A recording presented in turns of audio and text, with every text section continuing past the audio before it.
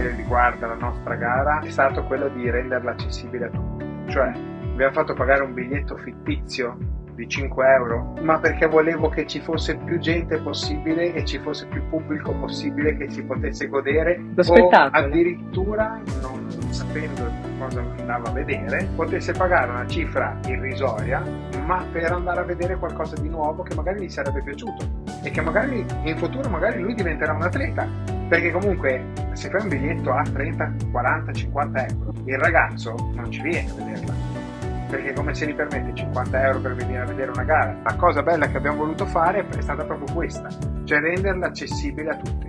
Abbiamo riempito il palazzetto. è vero Posso dire che da parte mia io, na- io sono una persona fondamentalmente molto timida, cosa che non si direbbe, ma sul palco metto una maschera. Quei 5 minuti, come abbiamo detto fino adesso, è show. Quindi quei 5 minuti non sei te stesso, dai il meglio di te. Poi dopo torno nei miei abiti larghi, nei miei, nei miei tutoni, quelle cose lì, negli occhiali. Però realmente in quel momento lì ti devi sentire bella, ti devi sentire bello, devi essere in quel momento la cosa più bella che esiste al mondo e devi farlo passare così. Io mi ricordo che la mia prima routine a 17 anni ho preso la routine di Cutler quando la portò all'Olimpia che posò su Tre Bocelli con Te Partirò e presi posa per posa, c'era ancora il registratore, quello il VHS e studiai la routine passo dopo passo da Cutler, cioè adesso questa cosa qui si è persa giorno dopo giorno, riprovala, prendi i tempi, Eh, questa cosa qui al giorno d'oggi si è persa un sacco. Buonasera a tutti e bentornati alle nostre live di Gare Bodybuilding. Questa sera, a causa un, un imprevisto dell'ultimo minuto, non avremo con noi Matteo Picchi. Vi saluto tutti quanti. Non è stato possibile appunto per lui esserci eh, questa sera. Condurrò io un po' le chiacchiere con, con due amici, Daile Matteo, Aquaman, Ciao ragazzi! Ciao a tutti. Diciamo che questa sera toccheremo alcuni aspetti, quella che può essere una gara, la preparazione, l'organizzazione, anche eh, approfondiremo qualcosina riguardo il posing, le routine e quello che è l'aspetto più scenografico di un atleta che sale sul palco. Ecco, beh, innanzitutto lascerei un attimino la parola anche a Matteo Adele per presentarsi e dirci un attimino anche come, cosa avete Volentieri. di bello e ciao Ale, ciao ragazzi. Ciao a tutti ragazzi. E- Io chiedo scusa intanto un po' di abbassamento di voce, quindi spero si senta bene lo stesso. E per cavalleria devi iniziare tu. Ah, devo cominciare io? Ah, perfetto. Se no dicono che se io rubo sempre la scena non va bene. È vero. Diciamo che, spiego velocemente, io eh, ho cominciato a fare bodybuilding una decina di anni fa. È stato un, diciamo, un amore a prima vista, nel senso che dopo aver fatto tanti sport a livello agonistico, mi ero un po' stancata, diciamo, della superficialità che c'era in, in alcuni ambiti e quindi ho deciso di dedicarmi un pochino più a me stessa. Da lì ho conosciuto lui in palestra e purtroppo, diciamo, ci siamo un po' influenzati a vicenda. Lui, lui aveva già gareggiato in passato, io non avevo mai preso in considerazione questa cosa. Nasce una sfida fra me e lui e quindi io ho riportato lui sul palco e lui ha portato me per la prima volta sul palco. e quindi da lì diciamo che da una passione che comunque è cresciuta insieme, alla fine siamo cresciuti insieme anche noi, progetti che alla fine pian pianino stiamo realizzando giorno dopo giorno. Diciamo che poi durante tutta la lunga carriera che comunque stai continuando a fare da atleta, Sì. sei diventata anche preparatrice e oltre a essere pro e beh, non è poco. per chi non mi conoscesse mi presento, sono Matteo e in arte Aquaman perché comunque quando è uscito il film di Aquaman che eravamo al cinema a vederlo, gli ho detto, lei mi ha detto ma sai che ci assomigli? E io ho detto beh vabbè allora lo portiamo sul palco. È stata la E fine. da lì è iniziata tutta la trasformazione. Prima avevo i capelli cortissimi, sì, Sì. a chiodo, quel tipo eh, Sembrava un Marines, cioè senza proprio- barba, senza niente, cioè zero, avevo solo il pizzettino in larichina qui mi vede adesso, fa fatica a volte, il sorriso è sempre quello, però fa fatica. e la testa è sempre quella. E da lì dopo, quando comunque ho riportato Adele sul palco e risbocciato l'amore per il bodybuilding, l'anno dopo ho iniziato a preparare le prime gare, è iniziata la trasformazione eh, con, eh, facendo crescere i capelli, i tatuaggi e quant'altro di Jason e, e poi dopo adesso ci divertiamo anche a fare il cosplay perché comunque quando andiamo a fare San Marino Comics eccetera Uh, lei si veste da mera, che soffre di caldo tremendamente perché è completamente vestita, e invece io sono a torso nudo, quindi me la godo di più. Questa ad agosto.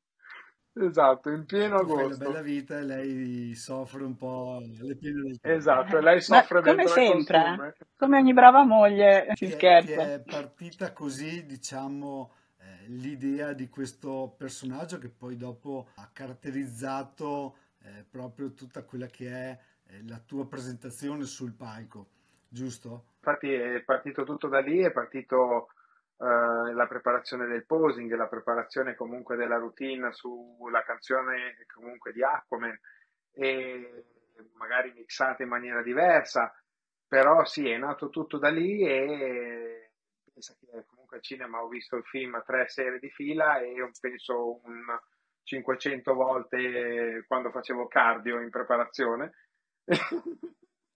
e quindi sì, posso fare le battute al posto degli attori. Proprio hai anche eh, studiato quelle che potevano essere movimenti, caratteristiche, particolarità del personaggio. Alcune movenze che comunque portava, sì, che portava Jason nel film, sì.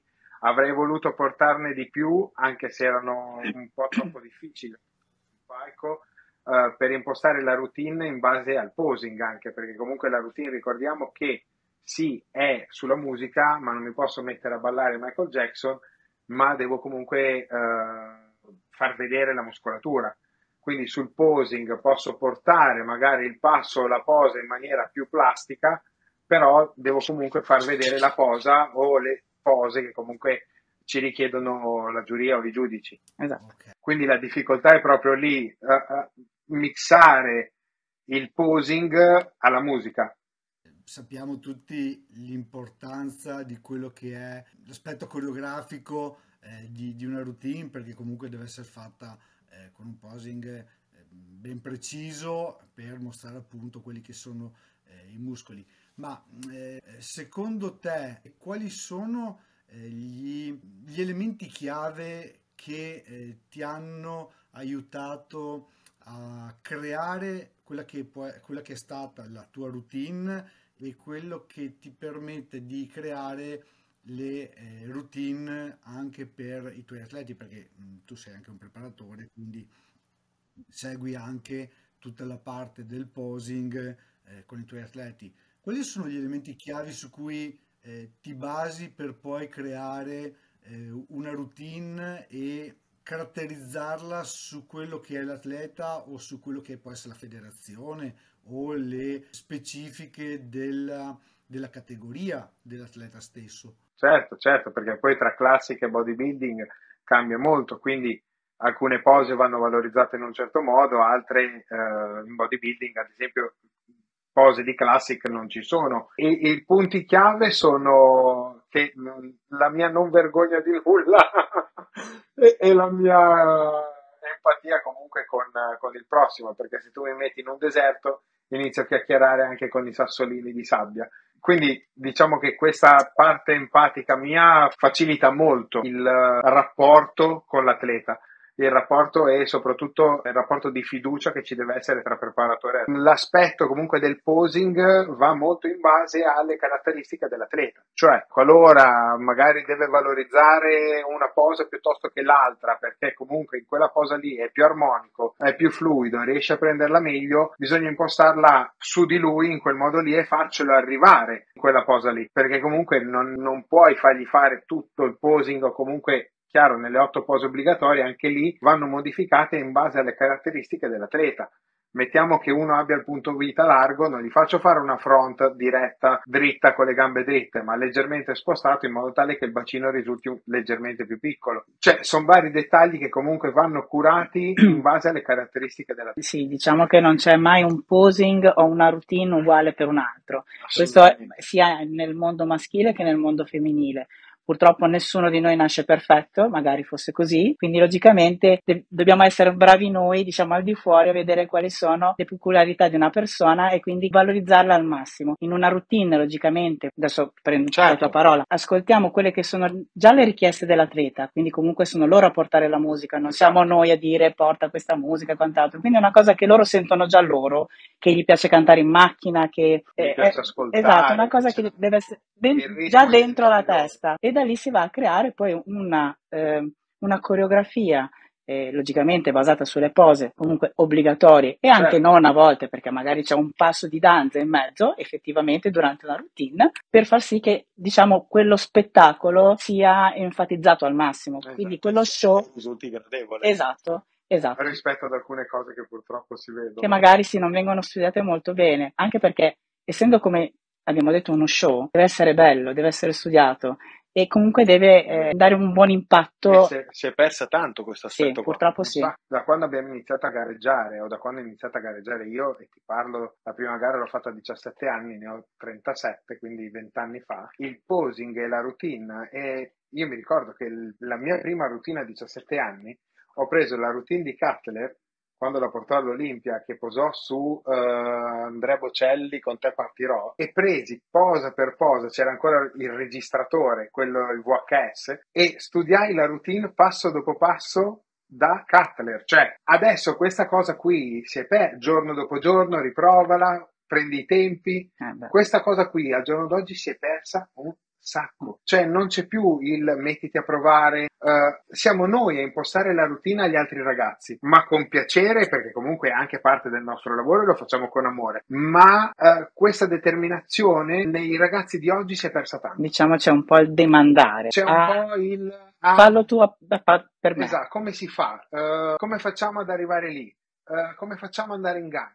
Ragazzi, è stata persa un cioè, pochino quella che è l'iniziativa dell'atleta stesso nel crearsi certo. qualcosa di certo. personalizzato su di lui con la sua esperienza. Ad esempio, Visto che mi hai citato appunto che sono vent'anni appunto che gareggi, il, bazzichi il mondo delle gare e via dicendo, come hai visto cambiare l'importanza del posing nel corso degli anni? Come si è evoluto il posing in questi vent'anni che hai visto il cambiamento? Perché le federazioni hanno dei criteri. Tu come le vedi secondo te e che cosa c'è in questo momento? Allora, negli anni è cambiato veramente un sacco. Prima si studiava tanto, prima c'era l'atleta in sé singolo che studiava tanto, studiava le pose, io mi ricordo che comunque mi mettevo allo specchio, provavo, riprovavo, riprovavo e cercavo di capire io come risultavo meglio in alcune pose. Questo aspetto, come ti dicevo prima, si è perso davvero tanto nel lungo andare del tempo. Ovviamente poi da federazione a federazione cambia un sacco, sì. perché poi c'è molta libertà anche adesso nelle pose.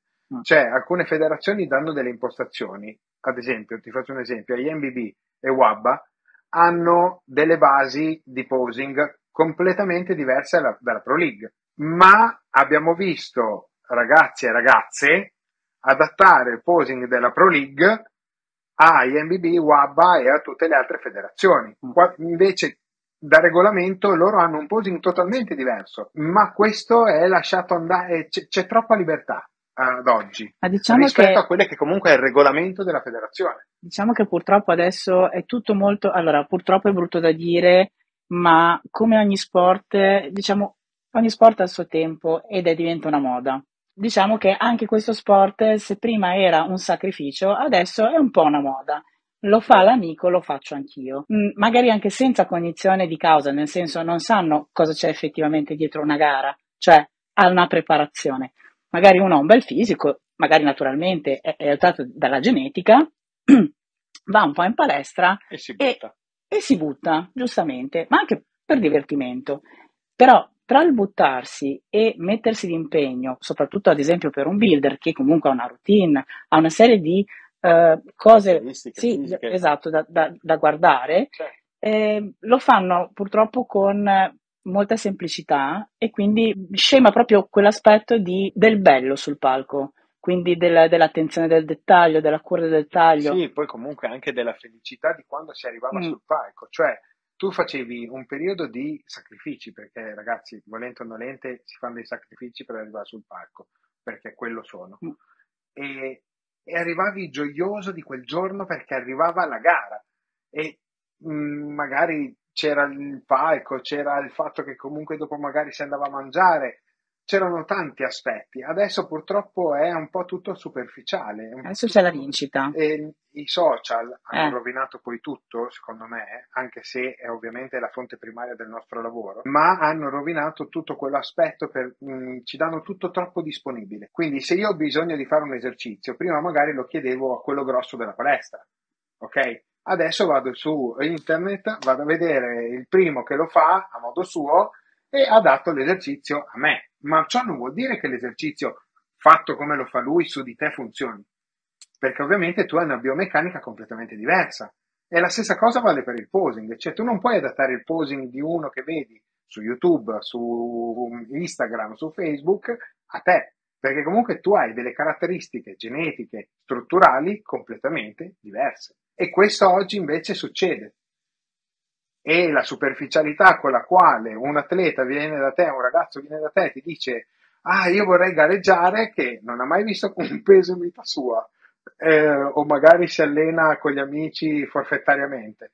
E dice voglio andare in gara entro un anno, cioè tu gli dici figlio mio quello che ha fatto i miracoli è già morto, è risorto e io purtroppo non li faccio. Dimmi una cosa invece, rispetto sempre a quella che è stata la tua esperienza nel corso degli anni, come è cambiato diciamo il peso che danno le federazioni a un posing? Cioè una volta quanto lo valutavano e quanto lo valutano adesso in proporzione a quella che può essere una condizione fisica, ma non solo diciamo nel tuo caso da bodybuilder, ma anche per quello che può essere magari la bikini come Adele. Quanto valutano adesso le federazioni un posing fatto bene, curato e via dicendo rispetto a quello che era negli anni scorsi? Dipende anche molto da federazione a federazione. federazione, sì. Allora, diciamo che ehm, ci sono tante federazioni eh, italiane e non.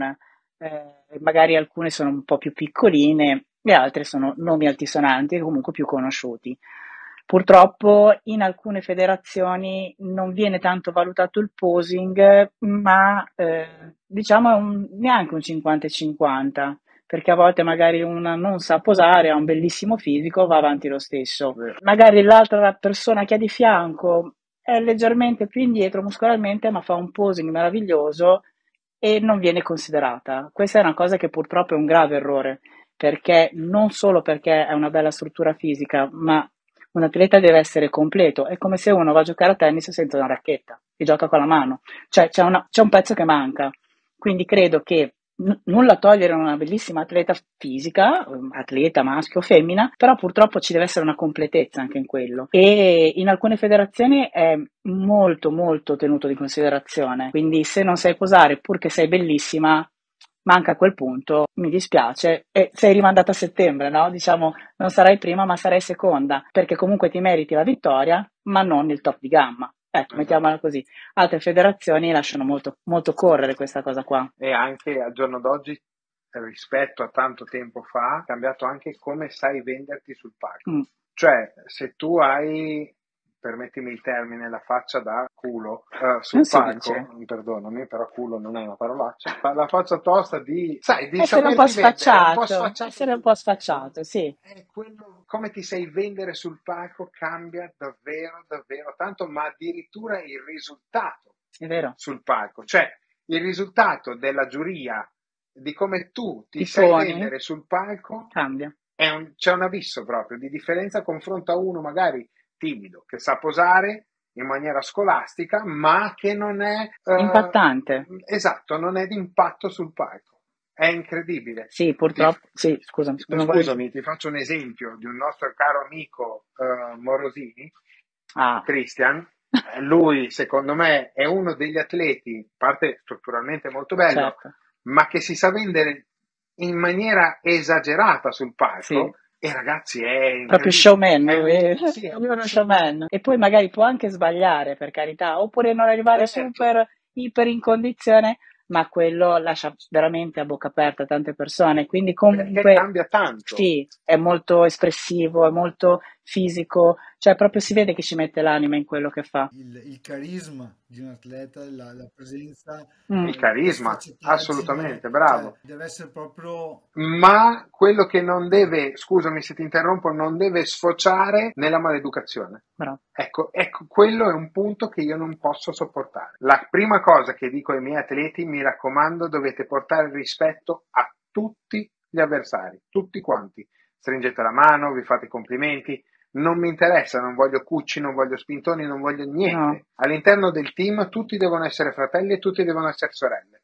Tutti si devono dare una mano e tutti vanno via alla fine della gara. Cioè, non chiaro che può succedere la, magari la, l'urgenza, però di norma tutto il team va via tutto insieme come arriva tutto insieme perché comunque devo riuscire a gestire tutti gli atleti. E un aspetto fondamentale è proprio questo, cioè quello che vedo tante volte è la maleducazione che gli atleti hanno sul palco, perché si credono, non lo so, superiori, si credono già arrivati, si credono uh, di aver fatto qualche gara in più e quindi loro sono il top, non lo so, ma la maleducazione è una cosa che proprio non riesco a tollerare. Brutta.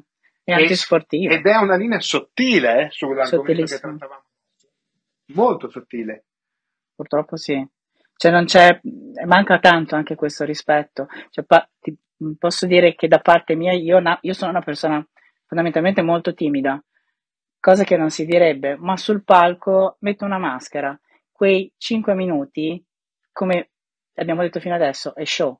Quindi quei 5 minuti non sei te stesso, dai il meglio di te poi dopo torno nei miei abiti larghi, nei miei, nei miei tutoni, quelle cose lì, negli occhiali, però realmente in quel momento lì ti devi sentire bella, ti devi sentire bello, devi essere in quel momento la cosa più bella che esiste al mondo e devi farlo passare così a un'altra persona. E, soprattutto convincere l'atleta esatto. che è così, perché la parte più difficile è che l'atleta o donna o uomo che mm. sia non, non, fa differenza vicino alla gara, non si vede mai.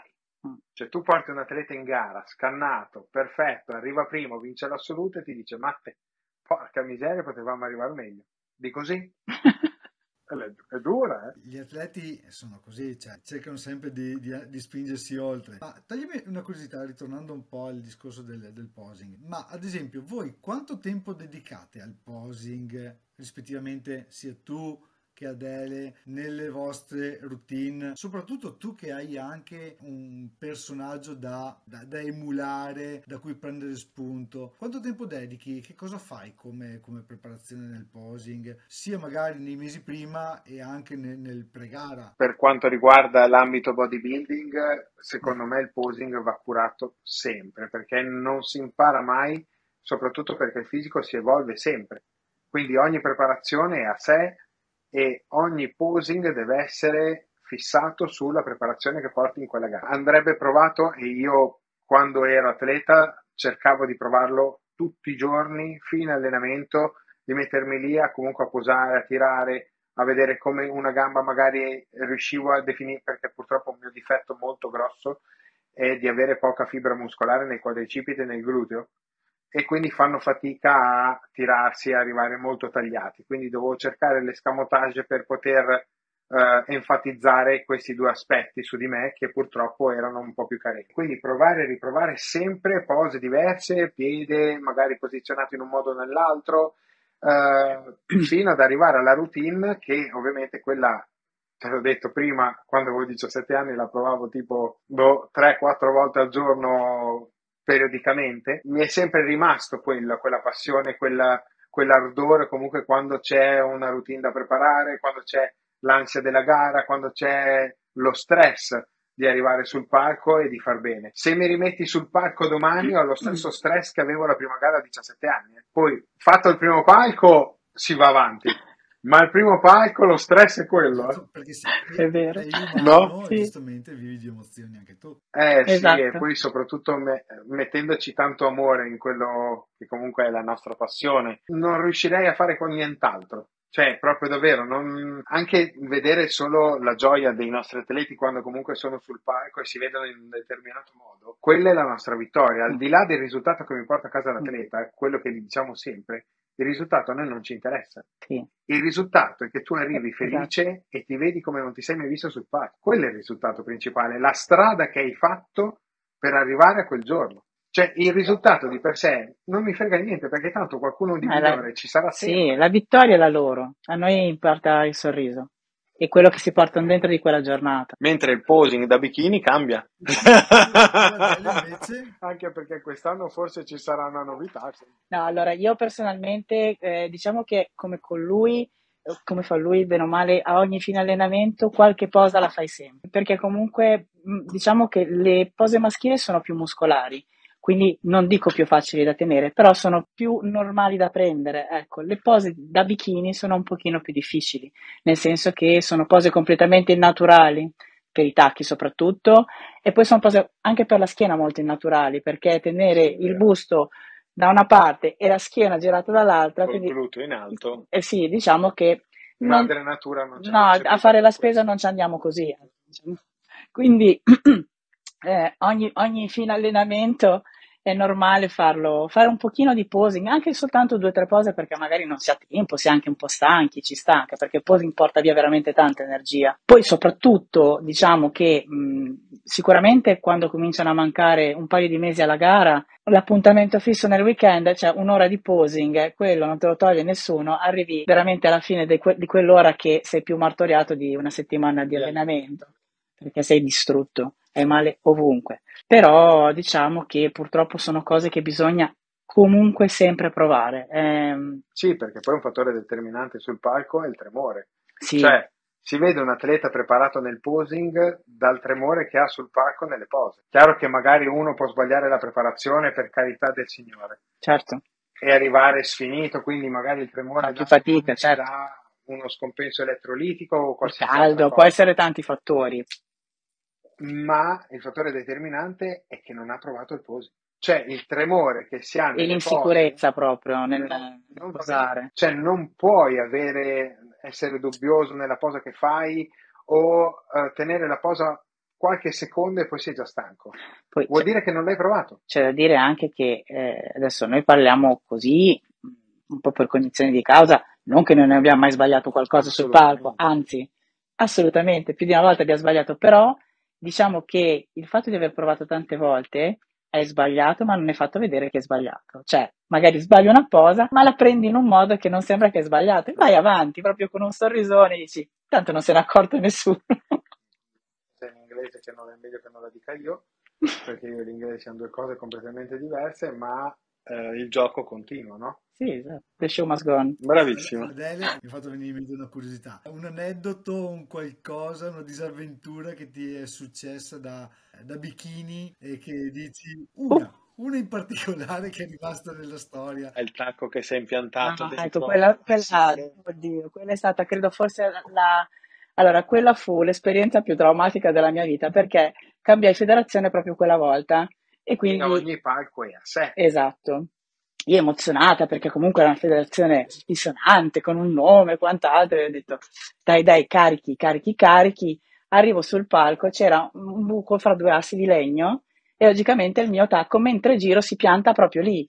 Quindi io ero di schiena alla giuria e non sapevo come uscirne da tutto ciò, quindi ho detto o tolgo la scarpa e quindi continuo senza scarpa, poi dopo un po' diciamo eh, di, Scastrato. di, di tirotti è venuto via l'asse di legno, ma credo che quella figura lì Può essere anche magari la presenza di troppo olio su per le scale e che magari le scale ovviamente magari non sono con ehm, del velluto sì, comunque sì, con della moquette. con della moquette e quindi eh, purtroppo si scivola lì. eh. Sì, anche lì quante ragazze cadono. E Esatto. questa è stata quella più, più, chiedo scusa se ti interrompo, ma questa è stata quella più tranquilla perché è capitato anche che il costume si rompesse. Cioè, quindi, tanto che è un costume talmente piccolo che quando si rompe un gancio sei praticamente nudo. Quindi dici, allora, o mi faccio forza e vado avanti nudo e non è carino, o in qualche modo camuffo.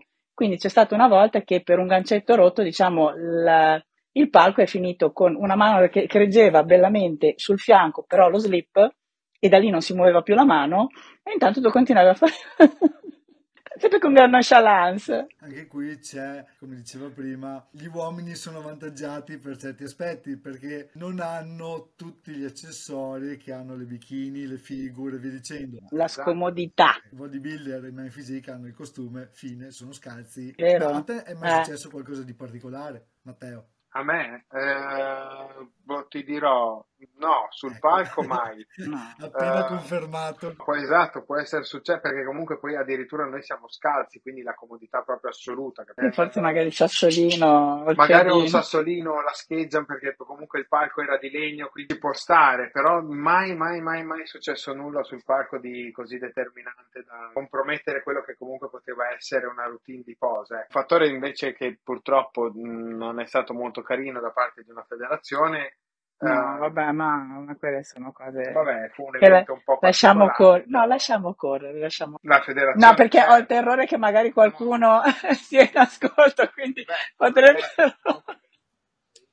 No, per carità del Signore, ma non vorrei tirar fuori un Non, non polverone. indaghiamo. volevamo fare solo una sorpresa, una cosa carina per eh, una festività ricorrente dove comunque ci si trucca, eccetera. È stata penalizzata molto lei eh, su quel palco lì e quello è stato un fattore determinante che ha determinato anche la sua gara. Ha determinato tanto lo stress suo perché ovviamente aveva mollato un attimino carico di tutto quello che c'era stato dietro e invece di essere una cosa carina eh, si è trasformata in qualcosa di un putiferio. Ecco. Mm, In Poco simpatico, Un'altra, un'altra domanda, non è proprio una domanda, è una, una previsione. Cioè, secondo voi, con questa evoluzione del posing, il peso che viene dato ehm, al posing, nei prossimi anni, come potrebbe evolversi? Perché abbiamo in mezzo eh, la vecchia scuola, c'è stata l'evoluzione, ci sono stati i social che hanno portato tanti cambiamenti su quello che è l'immagine e la presentazione scenica. Come potrebbe evolversi il posing nei prossimi anni? eh, o, co- o come potrebbe cambiare? Cosa si potrebbe migliorare nel posing per portare... È già, cam- è già cambiato tanto in questi anni, in questi ultimi anni, perché alcune federazioni addirittura hanno tolto la routine. Mm. Ok? Hanno tolto la routine che secondo me era una parte scenica um, della gara determinante perché comunque era bello. C'è la parte del bodybuilder, eh, adesso poi del classico, che facevano la routine con la musica era una parte bella. Molte federazioni l'hanno tolto proprio per la superficialità con la quale si preparavano. Quindi loro hanno detto preferiamo toglierle, risparmiare tempo Esatto. e far sì che comunque gli atleti arrivino magari meno stanchi, perché ovviamente con 8, 5, 6, 8 routine perdevi molto più tempo, un minuto comunque ad atleta. E l'hanno tolta perché veniva fatta tanto per fare. Secondo me ci sarà un ritorno al passato, nel senso che passerà, diciamo, come moda, torneranno a esserci gli atleti, quelli che comunque amano questo sport e non ci si dedicano due mesi all'anno, mettiamola così, ma tut- tutto l'anno, eh, come facciamo noi, e tornerà forse anche la percezione del- dello spettacolo in sé per sé, quindi qual è la routine, qual è la cura per il posing. Quando arriverà un altro sport che è già arrivato, non faccio nomi perché tanto ormai è già arrivato, ruberà tanti atleti a questo bodybuilding che è di Qual è l'altro sport? il padel. Ma per carità del Signore. È uno sport che è aperto a, a- a comunque tante età, raggruppa ta- tan- tanti ragazzi, quant'altro, che è una cosa meravigliosa. È un po' più semplice, meno faticoso a livello di dieta e quant'altro, però secondo me mol- molte persone che non erano fissate su queste cose qua si stanno spostando più su altri sport di moda. Tu dici, rimarranno meno atleti perché sono veramente appassionati e quindi riporteranno quello che è il posing o le, le routine e quella che è la presentazione un po' vecchia scuola. Beh, Questo è un Anche perché pensiero, eh, poi che una volta c'era addirittura il premio per il miglior è posatore. vero, tuttora, vero. Cioè, tuttora io fatto, io sono andato, eh. esatto, sono andato a vedere alcuni due torri dove ragazzi, cioè davvero era Dottori qualcosa d'epoca, di, però sì, non di adesso. era qualcosa di allucinante, eh. Ehm, era, era veramente bello, era, era scenico, era, era uno spettacolo e te lo godevi tutto dall'inizio alla fine. Sì, non c'era il momento Adesso di pausa, quasi- la noia. Adesso quasi ti annoi a vedere Sì. che ci sono mille categorie, mille atleti che comunque fanno doppia categoria, perché alcuni vanno, van- addirittura alcuni fanno quattro categorie. Cioè, potrai avere le caratteristiche fisiche per fare tutte e quattro le categorie? No. Quindi il tuo preparatore ti dovrebbe dire o mi fai questa o mi fai quella.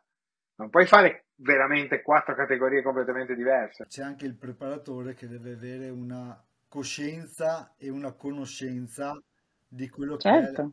E che non c'è, anche quello si è perso tanto. Eh, Eh. quello- visto proprio che parlavamo, stavamo parlando appunto di categorie, di impegno e di tutti questi cambiamenti. Io so che eh, tu hai anche eh, fatto da organizzatore di, di un evento, di una gara Sì. e anche lì la mia curiosità è capire anche un po' qual è la sfida di creare o di organizzare una gara così perché ci sono tanti aspetti e molto spesso gli atleti stessi non sanno l'impegno o il lavoro che c'è dietro.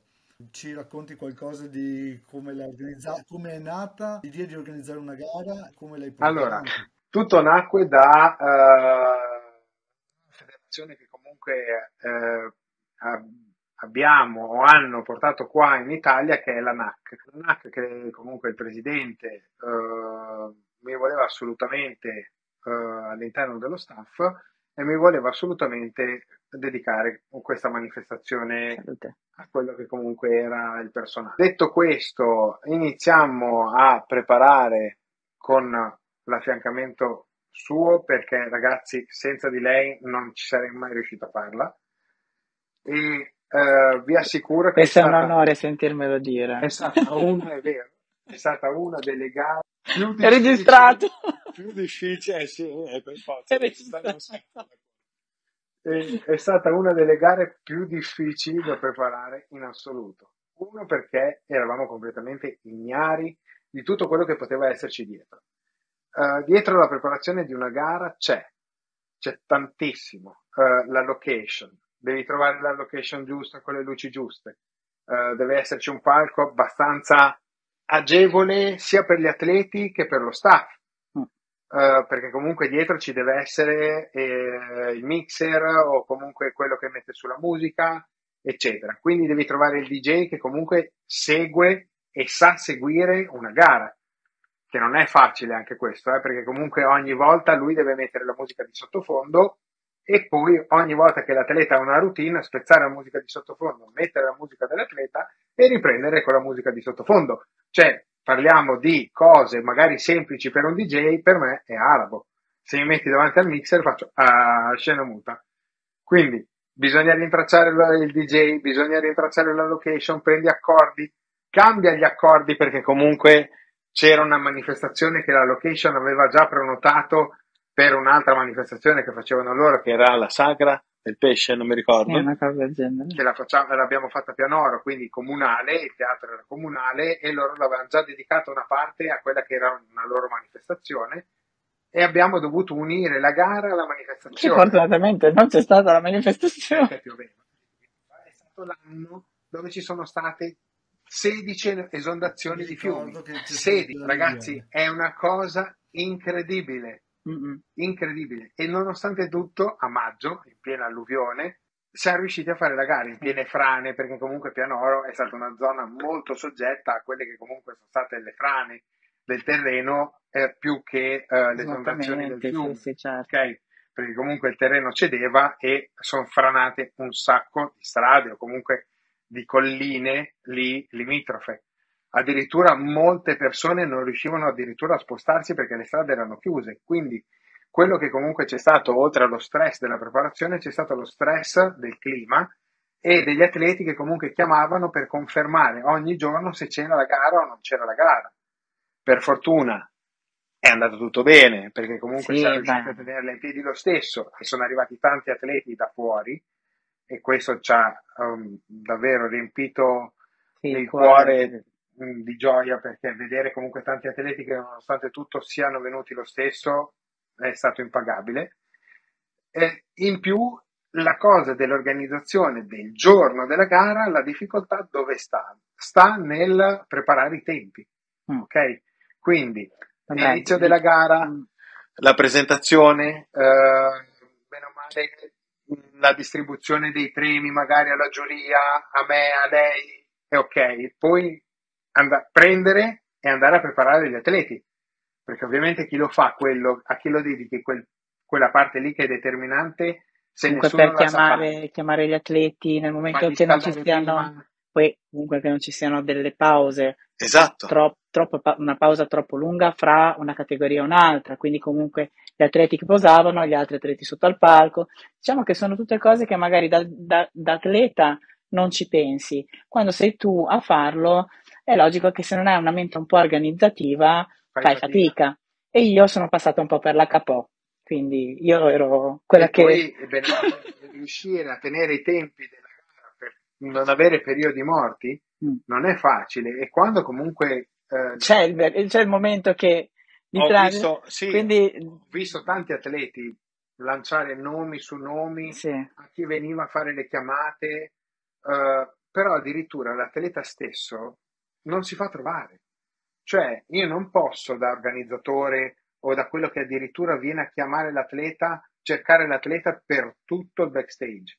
Se io faccio una chiamata di una categoria al microfono, tutti gli atleti devono arrivare lì, ma alcuni atleti addirittura non sanno neanche il giorno della gara la categoria che vanno a fare dallo stress che hanno. no, il problema reale è che ehm, anche lì è sempre una questione di educazione.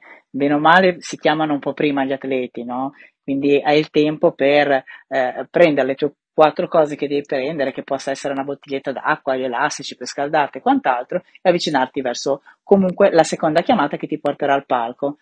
Eh, il problema è, è lì, nel senso che magari molti atleti arrivano all'ultimo proprio giù nel backstage perché non, non riescono a stare comunque in una situazione dove c'è tanta gente o comunque c'è anche quella voglia di essere io sono quello che ha già fatto 4-5 gare ha vinto, quindi arrivo con calma. Non è, non è rispettoso anche nei confronti degli altri che comunque ti devono aspettare perché non possono fare una gara senza un atleta. Quindi logicamente le persone che sono dietro al backstage cominciano a chiamare, a cercare, magari la persona non è ancora arrivata, quindi aspettiamo un attimo, mettiamo un attimo più di musica. Diciamo che se facessimo tutti così eh, sarebbero infinite le gare. Quindi la difficoltà anche per noi è stata magari quella di mantenere i gruppi degli atleti che dovevano salire sul palco. Però fondamentalmente diciamo non ce la siamo cavati male anche perché abbiamo avuto anche i complimenti di chi fa gare organizza gare da prima di noi che ci ha detto ma veramente è stata la vostra prima volta?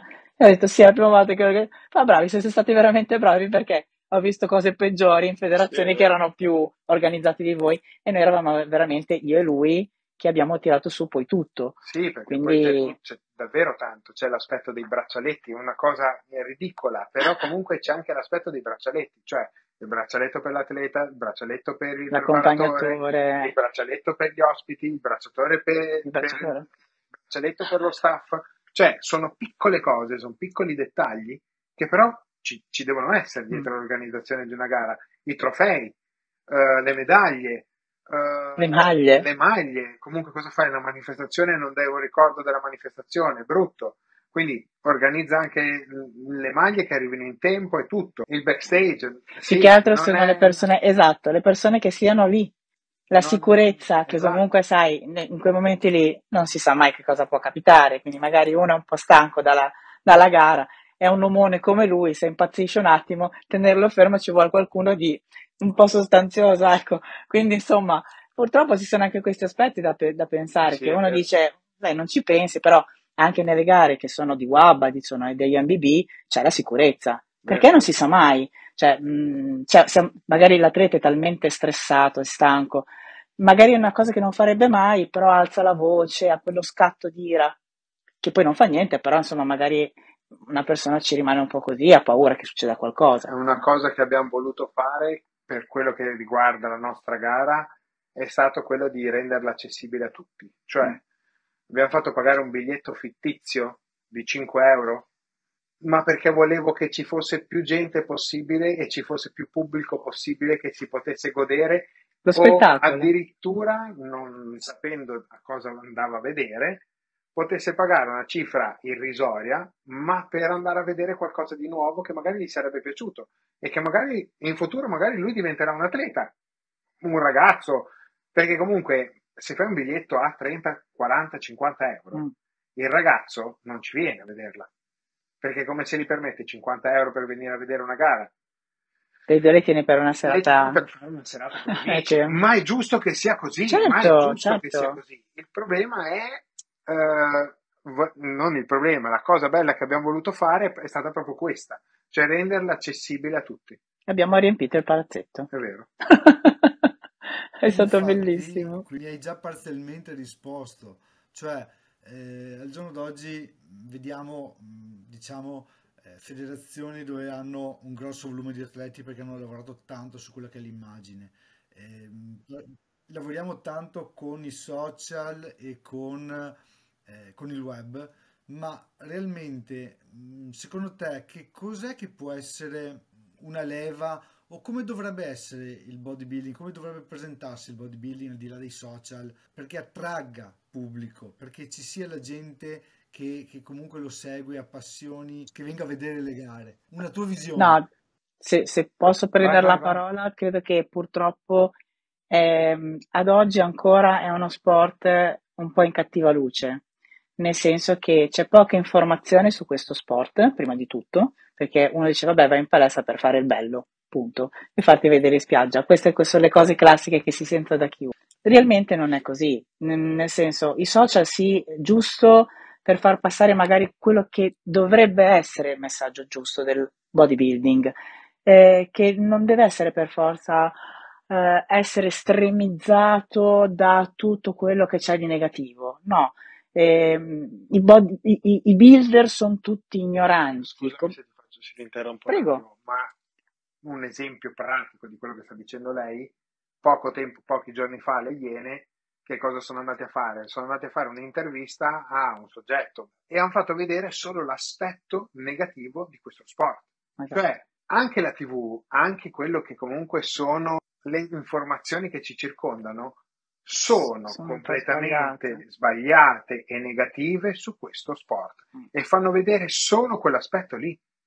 È quella la cosa e la cosa sbagliata è proprio quella, cioè è dalle basi che è sbagliato i- i- l'approccio che si ha verso questo mondo. Eh, anche- Perché non può essere ancora nel 2000, scusatemi, nel 2024, poi mi infervoro, e nel 2024 ancora che gli integratori, tu vai dal dottore della mutua e il dottore si mette le mani nei capelli perché tu prendi la creatina.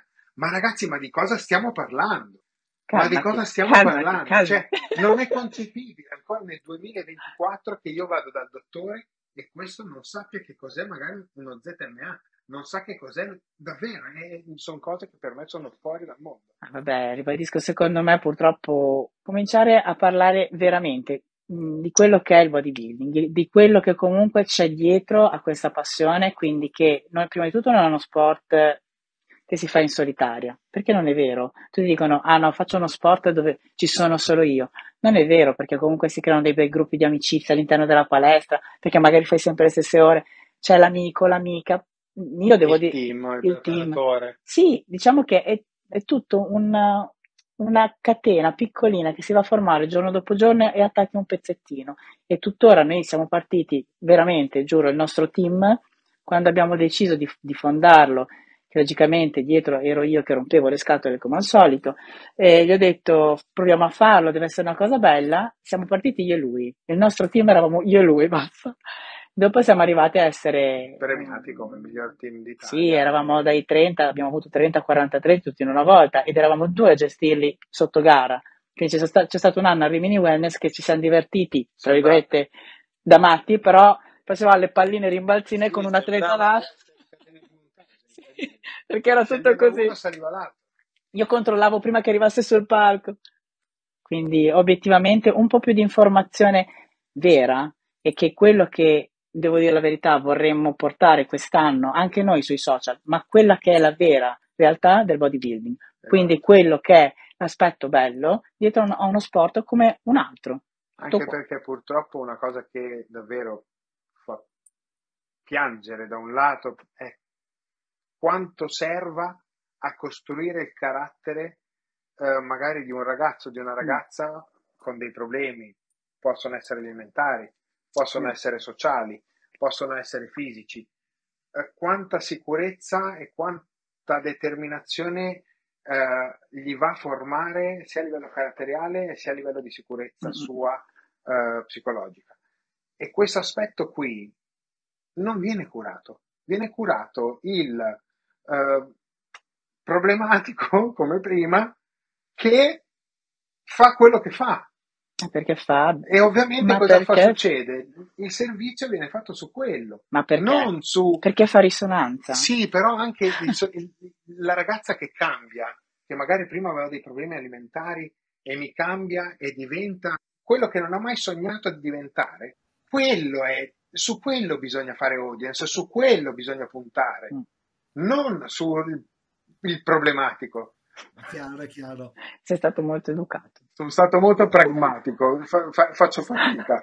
Eh, comunque condivido il discorso di fare eh, una corretta informazione su quello che è il mondo delle gare, il mondo del bodybuilding in generale, a prescindere ci sono Che poi è quello che stai cercando fa- di fare te, quello Ale. che io e Riccardo, eh, mio, Esatto. Esatto. la Esatto. mia spalla, il mio alter ego in tutto, stiamo cercando esatto. di condividere, visto che comunque lavoriamo dentro, sì, lavoriamo all'interno del settore del, del fitness, del bodybuilding, quindi cerchiamo di dare un po' di informazione diversa, diversa nel senso che cerchiamo un minimo di far trasparire anche quello che è l'aspetto umano, le esperienze, le cose che nessuno viene mai a raccontare, perché altrimenti, come hai detto tu prima, un servizio visto sulla- sull'emittente nazionale eh, fa credere tutt'altro da quello che è realmente il mondo.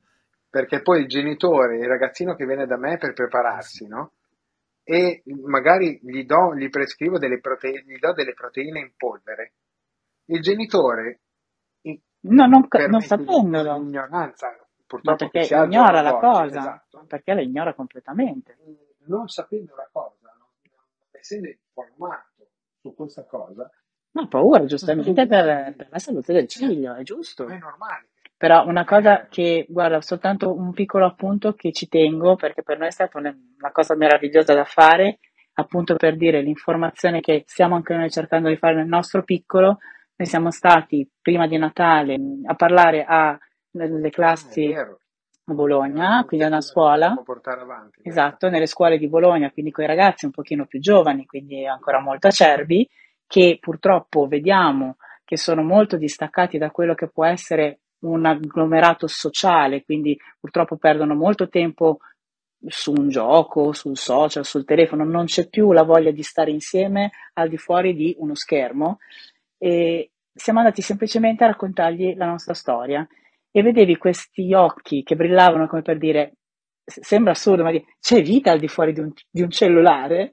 Sì, c'è vita fuori di un cellulare, se tu esci c'è un mondo che puoi scoprire. E uno di questi poi abbiamo semplicemente spiegato che una passione può essere la palestra come per noi, ma qualsiasi, anche giocare a burraco può essere una passione che ti porta ad avere tante amicizie, invece di scriverti semplicemente, esatto, col telefono. internet. Esatto. Un'altra domanda che di solito tendiamo a fare un po', una cosa che mi hai fatto venire in mente che abbiamo già chiesto anche ad altri atleti e che comunque cercheremo di eh, domandare un po' a, a tutti, perché come abbiamo detto prima, eh, la disinformazione, i social che propinano di tutto, eh, ci sono milioni di fonti che raccontano qualsiasi cosa, ma realmente la gente deve vivere queste cose qui per, per capirle e imparare. Voi che cosa avete imparato dal bodybuilding? Sia tu Matteo, sia tu Adele, come...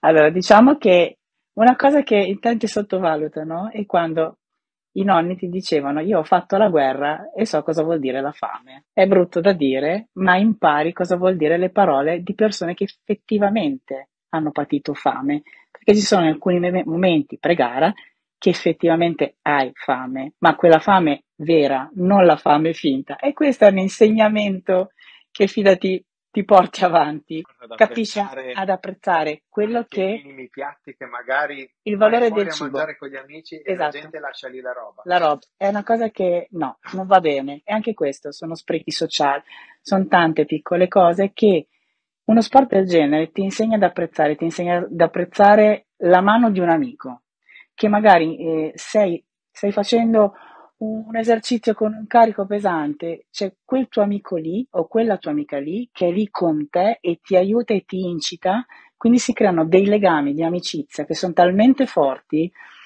non c'è più il, il rapporto uomo-donna, c'è proprio il rapporto atleta, quindi diventa una simbiosi che ti porta talmente a, a, sentire effettivamente il bene che può volerti una persona senza nessun interesse, perché tanto certo. gli viene in tasca lui di averti aiutato a tirare su un peso, niente, però c'è quella complicità, c'è, quella, c'è, c'è quell'aiuto, c'è quel voler stare insieme che effettivamente li lasci via i telefoni. Cioè io, almeno io parlo per me personalmente, non sono una di quelle persone che quando si fa quell'ora e mezza, due ore di palestra, sta lì a guardare i social delle due, anche se voglio mettere la foto onestamente, la posto che ho finito eh, di fare quello che sto facendo, il mio allenamento, perché è bello la, ridere insieme agli amici, prendersi in giro, è proprio diventa una cosa che da tanto tempo non vedevo negli occhi delle persone, c'è la, la, la semplicità di, di, una cosa che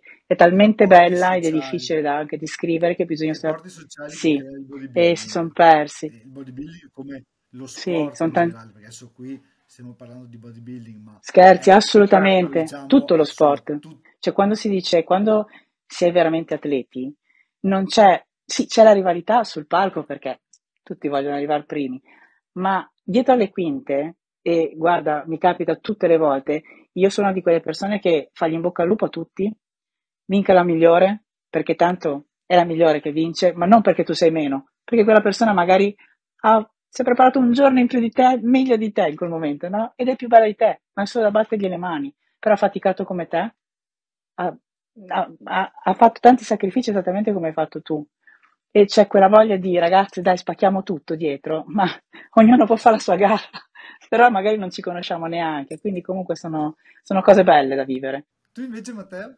Tu cosa hai imparato? Ti parlo di due aspetti, sia quello da atleta, da, da, da, da ragazzo comunque che è cresciuto col bodybuilding, eh, sia quello da preparatore. Ragazzo tredicenne che comunque ha iniziato ad allenarsi, ovviamente sognava di arrivare sul palco perché comunque vedevo le riviste di fle- leggendo Flex, Masculine Fitness, vedevi tutti, bene o male, i big no, dell'epoca e sognavi un giorno di arrivare sul palco o fai conto di essere come loro, tra virgolette, no? E riuscire a realizzare quel sogno lì è stato tanto, c'è, c'è stato mh, davvero un impegno enorme, un cammino lunghissimo, perché comunque sei in una fase di sviluppo, sei in una fase di crescita, eh, sei in una fase ormonale completamente eh, sballata, dove gli ormoni vanno a mille e neanche tu sai cosa vuoi addirittura dalla vita, quindi sai la strada la costruisci giorno dopo giorno, no? Mi ha insegnato quello che ti ho detto proprio adesso, cioè a vivere giorno per giorno, a non uh, programma- a programmare sì, ma vivere davvero il presente. Succede una sfiga oggi, la affrontiamo oggi e poi domani magari di nuovo col sorriso e si riparte da zero. Il fattore di affrontare diverse problematiche poi quando sono cresciuto ovviamente le problematiche sono cambiate, sono diventate più difficili, sono diventate ovviamente quello che è rispetto alla vita quotidiana, eh, ti aiuta ad affrontarle in maniera molto diversa e molto più razionale. E questo davvero io devo dire grazie al bodybuilding, devo dirgli grazie soprattutto per avermi portato via da uh, strade sbagliate che magari da giovane avevo preso e grazie alle scelte che comunque ho fatto, perché comunque dovevo dire di no a tantissime cose, e mi hanno portato via da uh, quelle amicizie che magari erano fittizie, ok? E ti insegna anche a valorizzare le persone, come diceva Dele prima, quella persona che viene lì e spende il suo tempo per darti un aiuto è una persona che non è così comune, cioè nel senso non è all'ordine del giorno che tu uh, possa avere una persona dietro che viene a darti una mano. O una persona che se tu guardi la società di oggi se c'è un morto per terra, la gente non lo caga neanche. Cioè gli passano di fianco e non, non se lo cagano. Quella persona che viene lì e ti dà una mano, perché magari ti vede in difficoltà o perché magari gliel'hai chiesto tu e lei ti dice di sì ed è contenta di darti una mano, non è da sottovalutare come aspetto. Cioè, mh, mm, davvero non è un, una cosa così facile al giorno d'oggi da avere questo ti parlo da ragazzo. Quello che comunque è cambiato da uomo dopo, sicuramente, che comunque io nascevo più come timido e poi sono diventato quello che sono diventato, cioè parlo anche con i sassi. E questo è, è la sicurezza di cui ti parlavo prima. Cioè il bodybuilding ti instaura una sicurezza, una consapevolezza di te stesso completamente diversa da quella che avevi prima. Il percorso che si fa fino ad arrivare al giorno della gara eh, davvero ti rende più coscienzioso e eh, determinato verso alcuni aspetti della vita in generale, se, togliendo tutto quello del bodybuilding. Cioè, capiamoci davvero, sono due cose, due aspetti completamente diversi. Il bodybuilding ti forma come persona per affrontare la vita. È una cosa devastante, ma perché comunque ti mette a dura prova tutti i giorni. Cioè, tutti i giorni dire di no a determinate cose che ci sbattono in faccia sui programmi televisivi, sulle pubblicità, eh, in giro per strada, cioè, dappertutto si mangia roba fatta, roba grassa, roba sporca. Però tu devi essere forte e comunque dire di no tutti i giorni e soprattutto lottare tutti i giorni contro amici, familiari, eh, tutti quanti. Vabbè, dopo, tutti ovviamente... Dopo un po' gli amici e familiari... Gliela danno su. Danno su. Ma addirittura io ho visto ragazzi esclusi da sì. amicizie perché erano un peso, perché dicevano sempre di no. No, più che altro è che non viene accettato il fatto che tu ti mangi del riso cioè, o del pollo o magari una tagliata e gli altri si mangiano la pizza. Che tu non stai andando a ledere quella che è la loro libertà o la loro vita.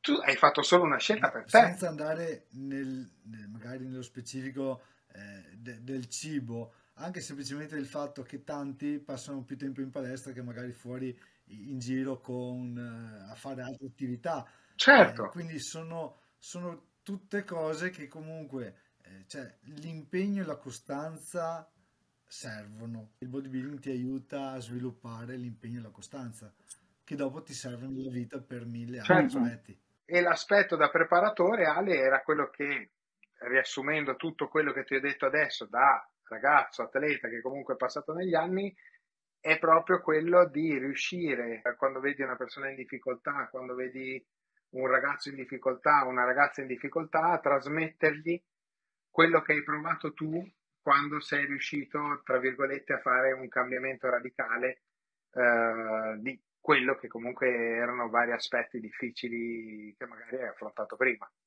Altra domandona che facciamo un po' come, come routine con i vari ospiti.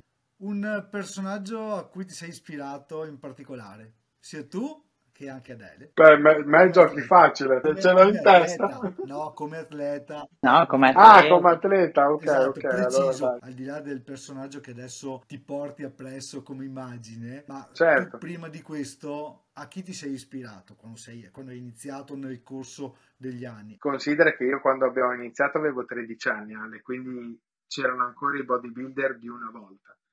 Uh, body, se tu guardi quanto sono cambiati negli anni i bodybuilder e il freak del bodybuilding è veramente un'altra scuola. Cioè, adesso volendo, senza entrare nei particolari, una volta c'era molta più ghisa, una volta c'era molta più ignoranza, una volta c'era molta più devi tirar su del carico per fare la muscolatura, per sfibrare il muscolo, per andare a dargli quella durezza, quell'impatto, quella plasticità che si portava sul palco una volta. Bah, uh, Coleman, Cutler, uh, Gunther Vlierkamp, uh, Marcus Ruhl. Cioè, due nomini, detto.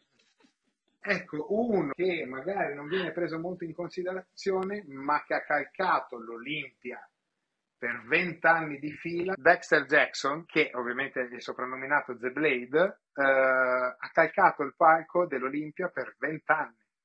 Cioè per 20 anni di fila lui si è preparato e ha fatto per 20 anni di fila l'Olimpia.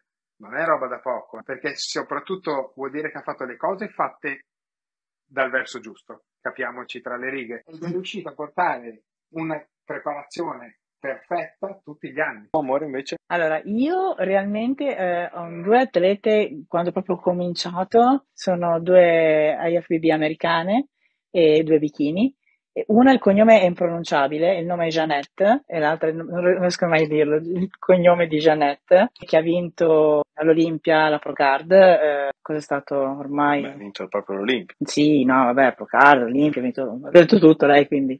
E l'altra è Lewis, che sono, diciamo che tutte e due, mm, non è, lei non è proprio una bikini, è una borderline perché è molto molto grossa come gamba, quindi è più fitness, però ha un corpo, lei nasce come obesa proprio, lei si è messa in testa, ha fatto questo percorso molto, molto intenso e mi ha proprio stupito la sua determinazione perché lei ha detto io voglio diventare come loro e ci è riuscita e effettivamente è, è, sta- è, stato un po' un esempio per me, dire se vuoi comunque puoi farlo. Ultimissima domanda, un, uh, brano musicale che vi, vi, portate o in gara, nel pre-gara, per darvi la carica? Diciamo che purtroppo io vivo costantemente 24 ore su 24 con la musica alle orecchie, detta come va detta. Sì, io ascolto tutto e veramente ascolto tutto il panorama. Una canzone che mi è rimasta molto nel cuore dopo che abbiamo fatto la gara e abbiamo vinto la gara di coppia io e lui,